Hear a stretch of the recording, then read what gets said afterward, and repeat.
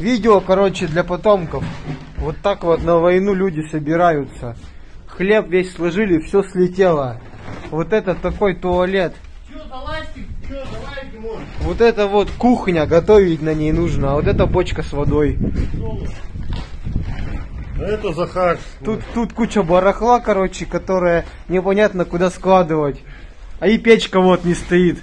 И ехать уже надо. А скоро уже ехать, На через, через пару часов. Холодно и темно. Ни света, ничего. Ну вот так вот, короче.